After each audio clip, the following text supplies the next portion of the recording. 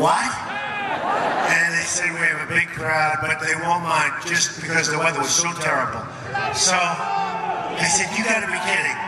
So we've been driving for two hours. We landed at like a long ways, but there was no way that we weren't showing up tonight. That I can tell you. That I can tell you. We couldn't land at your local airport. We landed, we landed a long ways away. I said, what? Let's put it this way, the drive was about three times longer than the flight. But we made it. That's all that matters, right? We made it. And I'm here today for one main reason, to thank you, the people of North Carolina, for being so incredible. We want to thank you. You pounded the pavement, you organized your fellow citizens, and propelled to victory a grassroots movement, the likes of which nobody, nobody has ever seen before. And that's beyond our country. And I want to give a special thank you to the incredible military families, service members, and veterans of North Carolina.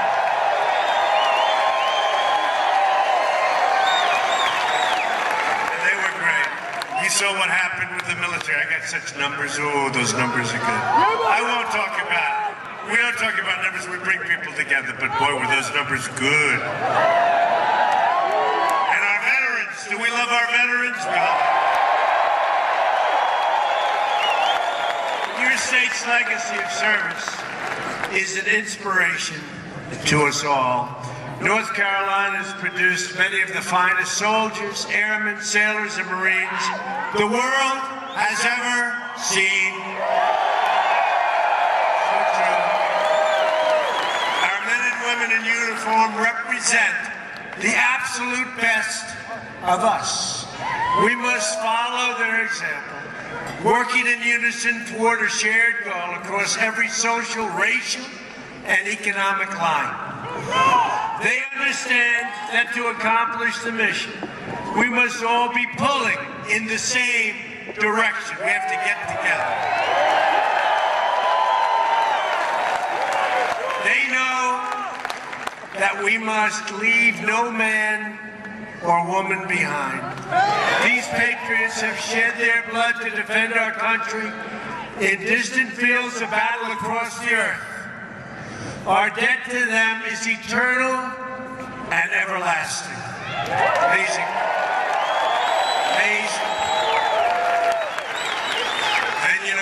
Very special person here today we're going to introduce.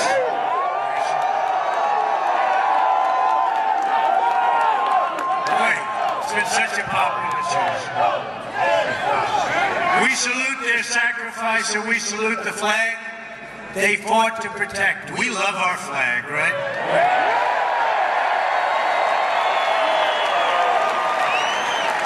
We love our flag.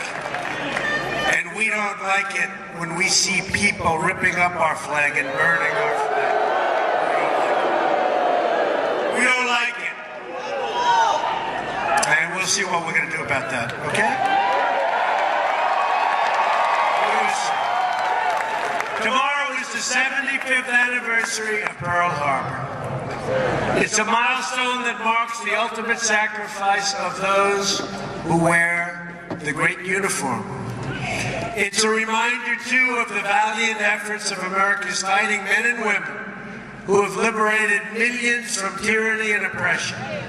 Now, today, our brave men and women are the first in line defense, defense against radical Islamic terrorism, words that some people don't like to say, an ideology of death that slaughters innocent men, women, and children.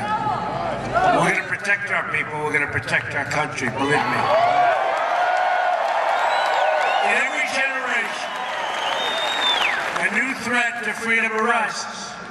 And just as we defeated these threats, we faced generations in the past, and you understand that. So too will we defeat the forces of terror. We stand here today. It's unseen in many cases. Fort Bragg, the home special forces at Fort Bragg have been the tip of the spear in fighting terrorism. The motto of our Army Special Forces is to free the oppressed. And that is exactly what they have been doing and will continue to do. At this very moment, soldiers from Fort Bragg are deployed in 90 countries around the world. Can you believe that? 90 countries. Based in Fort Bragg is the 82nd Airborne Division,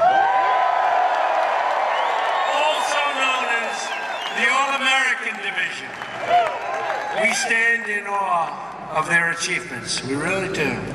Not far from here sits 45% of the entire United States Marine Corps at Camp Lejeune. Love Camp Lejeune. 12,000 citizen soldiers fill the ranks of the North Carolina Army and Air National Guard.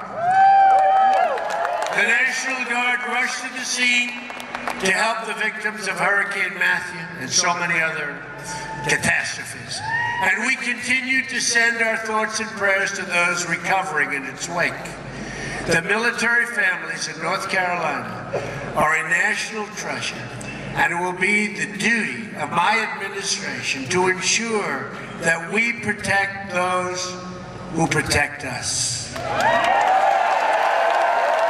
I just want to tell you that we are going to be taking care of our veterans. And I'm right now, I'm right now working. These are great, great people. And they haven't been treated fairly. And I'm right now working on picking the people that are going to be helping our veterans, and they are really outstanding. We have some of the great people, and a lot of people that are giving, making great sacrifices to do this. But they're going to be unbelievable. You're going to see such a change. You're going to see such a change like you've never seen before. We're going to protect and help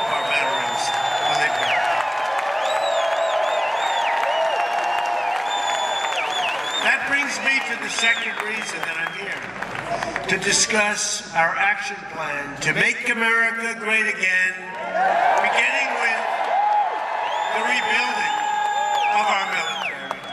And we will, we will. You're going to see it. I'm so looking forward, probably next week. You're going to see what we're going to do to take care of our vets. It's going to be announced. A lot of things are going to be announced. Stay tuned, folks.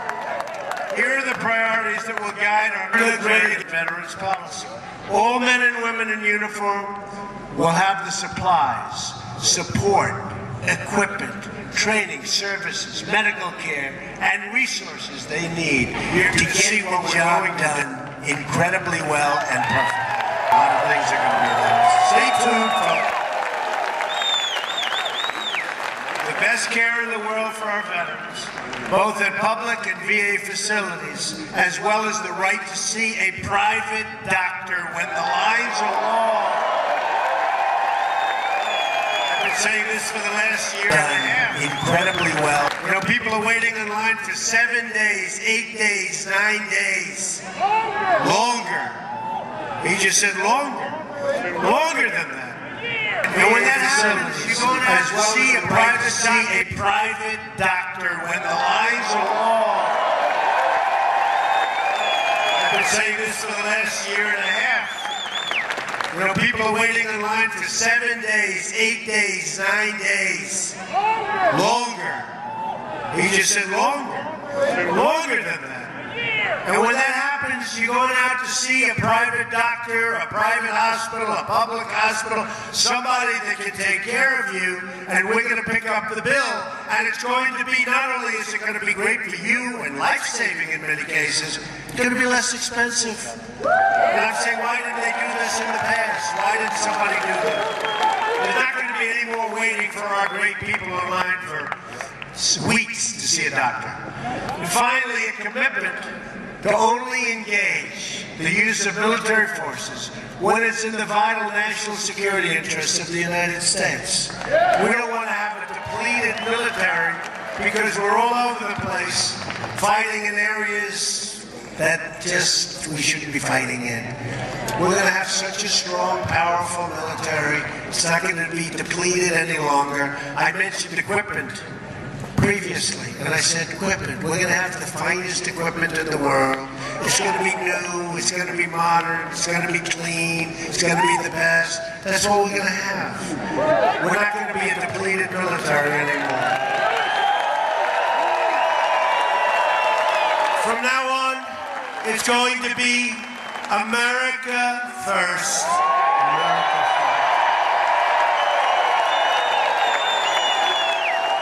We will stop racing to topple foreign, and, and you understand this, foreign regimes that we know nothing about, that we shouldn't be involved with. Instead, our focus must be on defeating terrorism and destroying ISIS. And we will. Any nation that shares these goals will be our partner in this mission. We won't forget. We want to strengthen old friendships and seek out new friendships. Rather than a rigid dogma, we're guided by the lessons of history and a desire to promote stability, stability all over, and strength in our land. This destructive cycle of intervention and chaos must finally, folks, come to an end.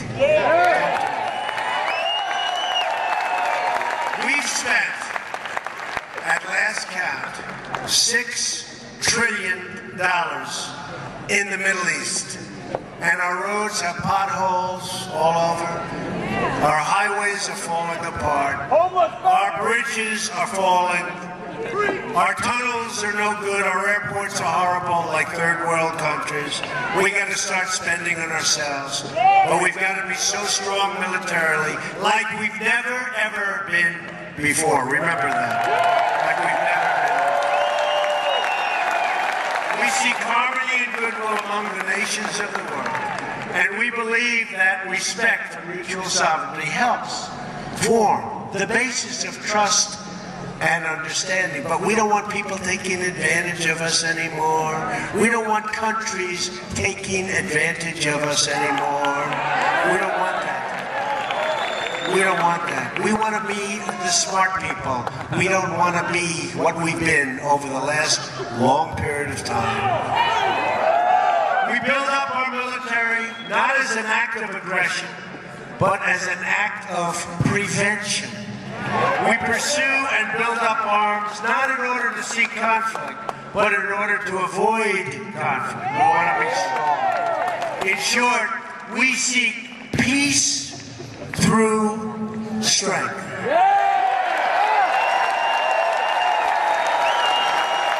That is why in my first budget report to Congress, I am going to ask for the elimination of the defense sequester. So now, depletion. I call it depletion. It gets worse and worse every year, not for our military. We will show the world that America is going to be strong again, stronger than ever before. We're going to be stronger militarily than ever before. And hopefully we don't have to use our military. But we're going to be stronger than ever before. And there's rarely been a time when we've needed this strength more than we have right now.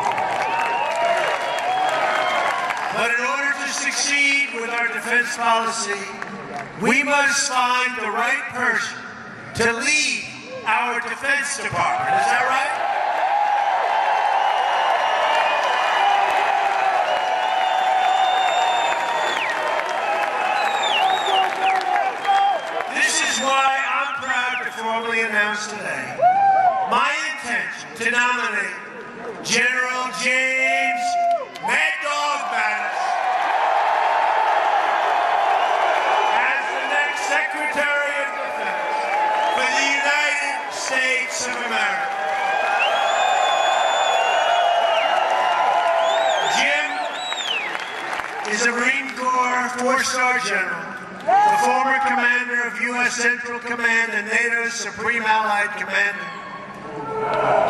Transformation, this is going to be so great for us. He led an assault battalion in Operation Desert Storm, and you saw what that happened. What happened? That was the way you're supposed to lead it. There was no games. Mad Dog plays no games, right? Led the forces that went after the Taliban and commanded the 1st Marine Division in Iraq. He is one of the most effective generals that we've had in many, many decades. An extraordinary leaders of our time who has committed his life to his love for our country. General Mattis is the living embodiment of the Marine Corps motto, Semper Fidelis, always faithful. And the American people are fortunate that a man of this character and integrity will now be the civilian leader atop the Department of Defense. Under his leadership, right? Under his leadership, such an important position. We will rebuild our military and alliances, destroy terrorists, face our enemies head on, and make America safe again. It is now my honor and privilege to welcome to the stage your next Secretary of Defense, General Mad Dog Mattis. Thank you.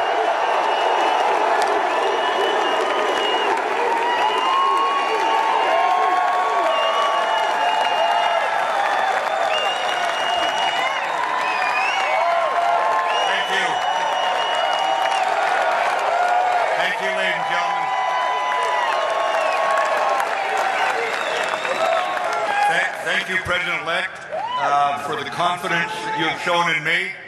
Uh, thank you for the opportunity. I'm, I'm grateful for the opportunity to return to our troops, their families, the civilians of the Department of Defense, because I know how committed they are and devoted they are to the defense of our country, the defense of our Constitution. And with our allies strengthened, with our country strengthened, I look forward to being the civilian leader so long as the Congress gives me the waiver and the Senate votes to consent. Thank you very much.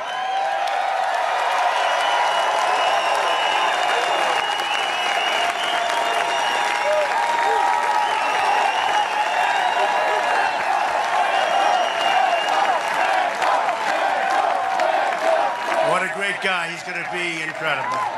He'll get that waiver, right? He's going to get that. Oh, if he didn't get that waiver, there'll be a lot of angry people. Such a popular choice. I believe we're in the process of putting together one of the all-time great cabinets that has ever been assembled in our nation's history. We have some great, great people going to be named over the next couple of days, Tim. But to accomplish our goals, we must reject the failed approaches of the past. We must move past the tired conventional thinking of Washington, D.C.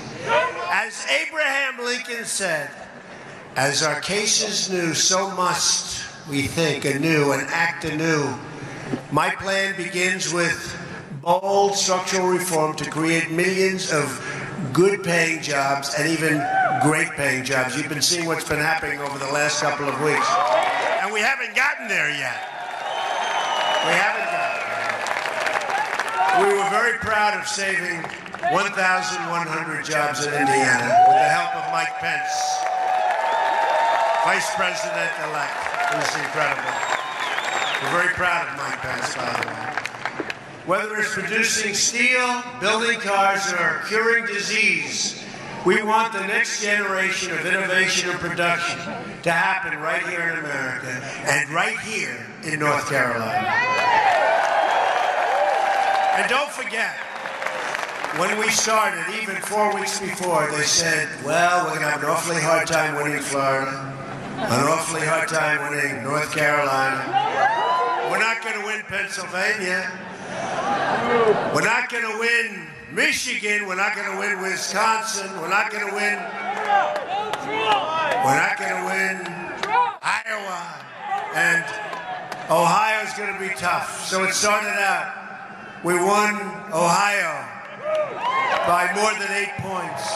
We won Iowa by a massive number, 10 points. Then we went down and we won Florida. Remember that fantastic evening? We have breaking news. Donald Trump wins Florida. Donald Trump wins North Carolina.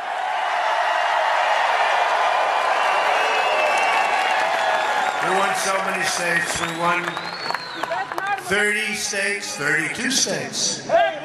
We won so much, and we just kept winning. And then we topped it off by winning Pennsylvania, winning Michigan, winning, right?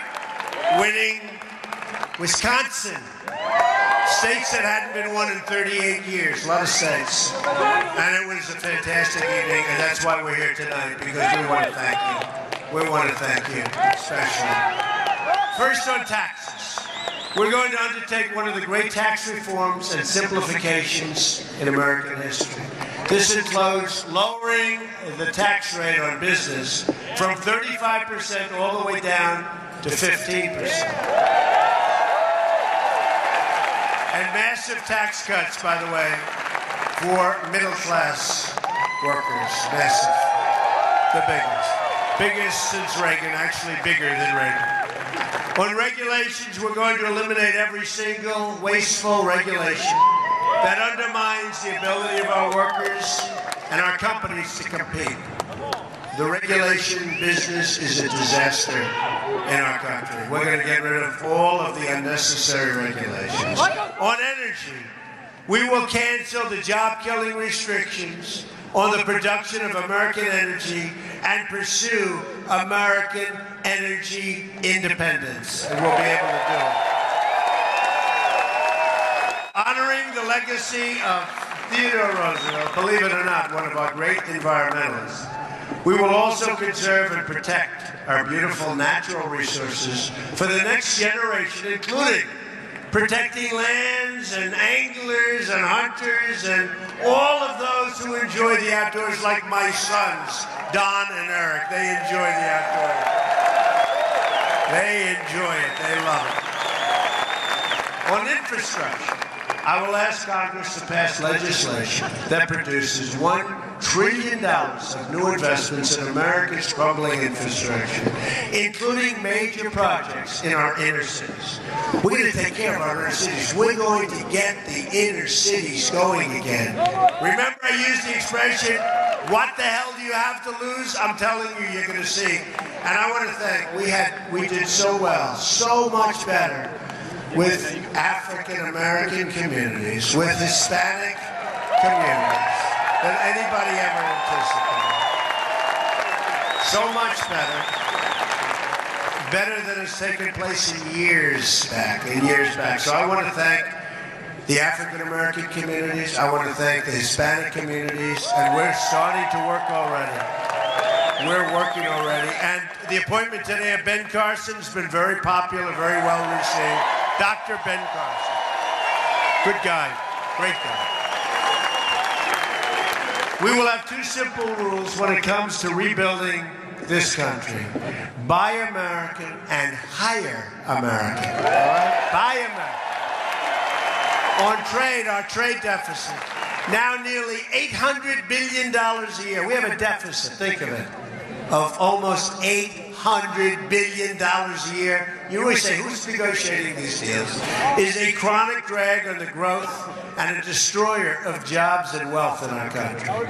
In the month of October alone, our nation racked up more than $40 billion in trade deficit. 40 billion! including more than a $30 billion trade deficit with China alone. All right? Think we're doing a good job in negotiating? I don't think so. How many business people do we have in this audience that could have done a slightly better job of negotiating, right? Yeah, you can. North Carolina has lost nearly half of its manufacturing jobs since NAFTA. America has lost 70,000 factories. Think of it 70,000 factories since joining. The World Trade Organization. Or think of it. So China joins the World Trade Organization, and since that time, we've lost so much 70,000 factories.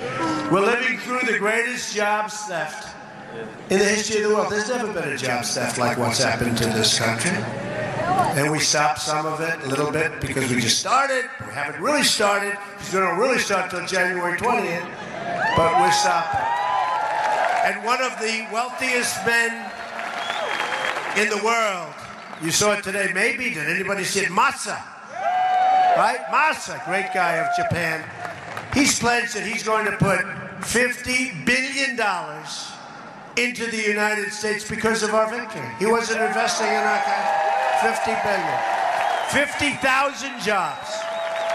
50,000 jobs he's going to be investing in. He's a great guy. A Trump administration will renegotiate our terrible trade deals, stand up to foreign cheating, and defeat every last American. And we will do this. We will defeat the enemy on jobs, and we will defend American jobs. We're going to defend American jobs. And we have to look at it almost as a war because that's what's happened to us. That's what's happened to our workers. These are great people. And boy, did they come out to vote. Remember they said they don't exist? They existed. They existed. Believe me, in millions and millions of people poured out to the voting booths and they voted big league. That's why we had these kind of victories. We had states where we would win by 30 points, 35 points, 40 points. Amazing. And if a company wants to fire their workers, leave our country, and then ship their products back into our country, there will be consequences. I'm sorry. There will be consequences. Big consequences. On health care reform, every day, the law known as Obamacare is destabilizing our health care, really destabilizing it, surging premiums and forcing providers out of the market. If we don't act, the damage will be irreversible. We're going to act. That is why we'll, uh, we're going to repeal and replace Obamacare. We have no choice. We have no choice. We have absolutely no choice. So we're going to repeal and replace Obamacare, and you're going to get health care at a much lower price with a much lower deductible. The, the, you know, it's so high now, you can't, you really can't, and for the most part, you can't use it. But we are going to have great health care at a much lower price. On child care, I'm asking Congress to pass legislation to make safe and affordable child care accessible to all and people like that. That's something that Ivanka Trump, did anybody ever hear of Ivanka Trump, right? Ivanka Trump has been fighting for for a long time, and I have, and I agree with her. On crime, the murder rate has experienced its largest increase in 45 years. We are going to support the incredible men and women of law enforcement, and we are going to bring this terrible crime wave to an end. Highest in 45 years, the murder. On immigration, we will be the administration that ended illegal immigration. We will construct a great border wall, dismantle the criminal cartels, liberate our communities from the epidemic of gang violence and drugs. We will get rid of the drugs that are pouring into our country.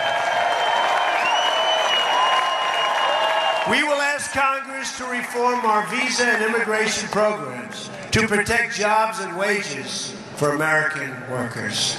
And we will be appointing very shortly somebody to head up our program. And I will tell you, this person, like General Mattis, will do a phenomenal job because we're going to stop people from coming into our country illegally, but we're going to have people come into our country and they're going to come in by the thousands and the hundreds of thousands, but they're going to come in, they are going to come in legally, right? But by the hundreds of thousands. We want people to come in, but they have to come in legally.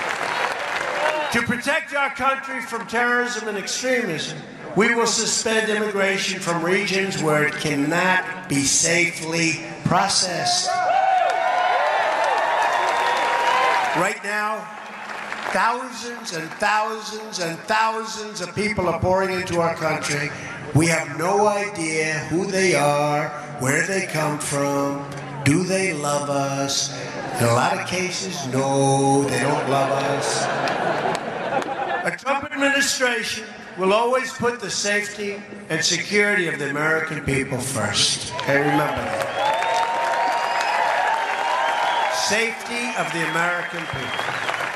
Ethics reform will be a crucial part of our 100 day plan as well. We're going to drain the swamp of corruption in Washington, D.C. We're going. I will impose a five year ban on executive branch officials becoming lobbyists and a lifetime ban on officials becoming lobbyists for a foreign government. We face many, many challenges, but this is truly an exciting time to be alive in our country and hopefully to be alive in many other locations because we are representative to a large extent of what's happening in the world. The world is looking up to us, but they haven't been looking up to us much.